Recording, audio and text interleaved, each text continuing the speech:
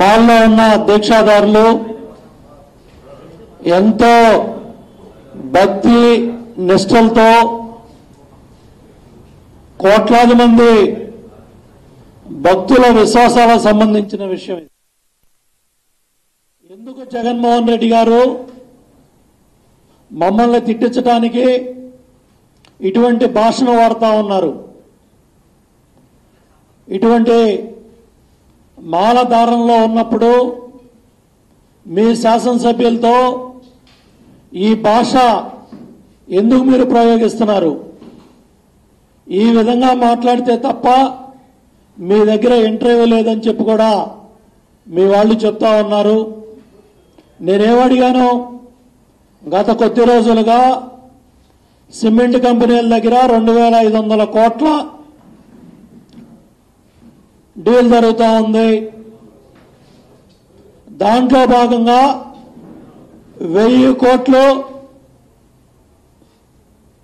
మీకు ముట్టాయి.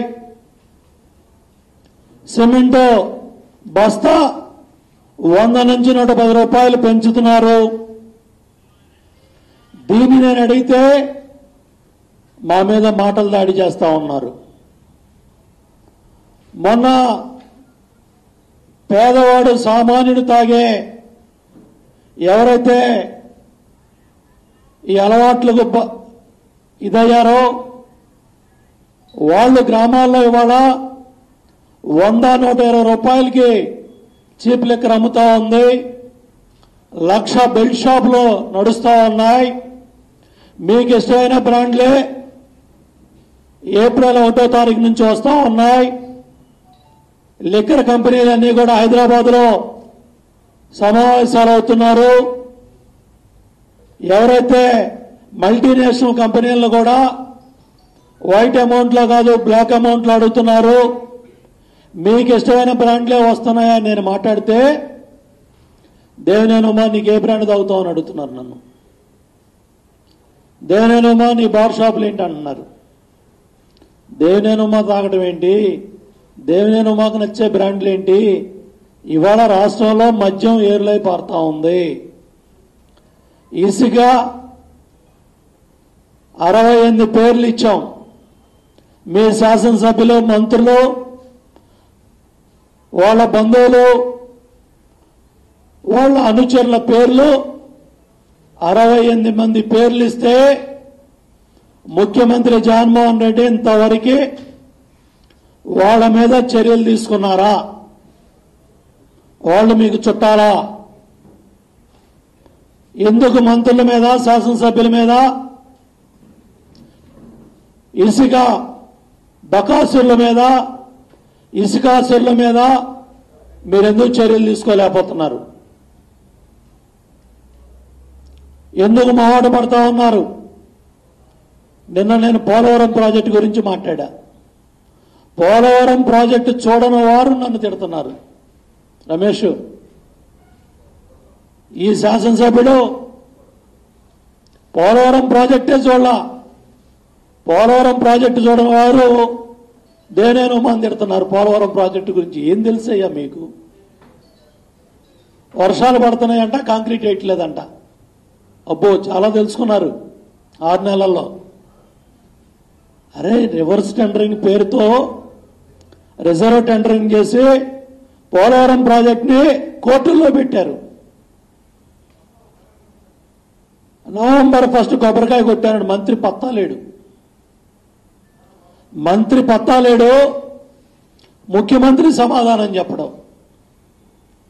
పోలవరం మా గుండిక తెలుగు ప్రజల గుండిక ప్రాజెక్టుని దెబ్బతీసి ఇరవై ఎనిమిది వేల కుటుంబాలు రోడ్డును పడ్డాయి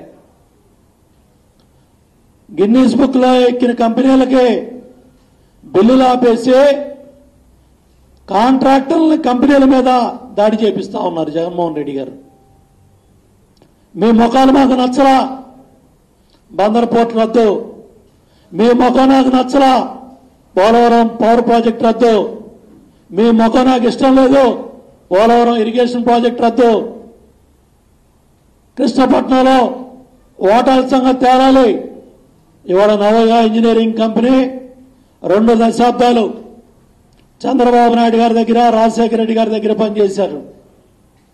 ఇవాళ ఆ కృష్ణపట్నం పోర్టు బయట రాష్ట్రాల చేతుల్లోకి వెళ్ళిపోతా ఉంది. అంటే ఇవాళ ఈ రాష్ట్రంలో అమరావతిలో కంపెనీలు ఎలగొట్టేశారు. సింగపూర్ ప్రభుత్వాన్ని ఎల్లగొట్టేశారు ఏఐబిబిని ఎల్లగొట్టేశారు వరల్డ్ బ్యాంక్ని ఎల్లగొట్టేశారు ఇవాళ లుల్లో కంపెనీ వైజాగ్లో ఎల్లగొట్టేశారు.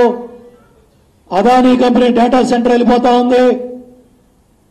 మొత్తం రాష్ట్రంలో పరిశ్రమలన్నీ కూడా ఎలగొట్టి బయట దేశ విదేశీ కంపెనీలని ఎలగొట్టి ప్రశ్నిస్తే ఇవాళ మీరు అయ్యప్ప మాలేసుకున్న వాళ్ళతో పరుష పదజాలంతో మమ్మల్ని తిట్టిస్తున్నారు జగన్మోహన్ రెడ్డి గారు. ఈ తిట్లకి వీటికి భయపడేది లేదు బాధపడేది లేదు. ప్రజాస్వామ్యంలో ఇవన్నీ కూడా ఎదుర్కోవడానికి సిద్ధంగానే ఉన్నాం. ఎనభై ఏళ్ళ వయసులో ఉన్న తల్లిదండ్రులను కూడా ఇళ్ళ దగ్గర ఉన్న వాళ్ళని కూడా మీరు తిట్టిస్తున్నారు. చనిపోయిన వ్యక్తులను కూడా తిట్టిస్తున్నారు. ఇవాళ మీరు ఎన్ని దుర్మార్గాలు ఎందుకంటే ముఖ్యమంత్రి గారు అసహనంగా ఉన్నాడు. ఇంటాలరెన్స్ ఫ్రస్ట్రేషన్లో ఉన్నాడు. నూట యాభై ఒక్క సీట్లు ఇరవై రెండు ఎంపీలు వచ్చినా కూడా అభద్రతాభావంతో అసహనంతో ఏం మాట్లాడిస్తున్నారో ఏం మాట్లాడుతున్నారో కూడా సోయి లేకుండా మంత్రులు మాట్లాడుతున్నారు ఎమ్మెల్యేలు మాట్లాడుతున్నారు.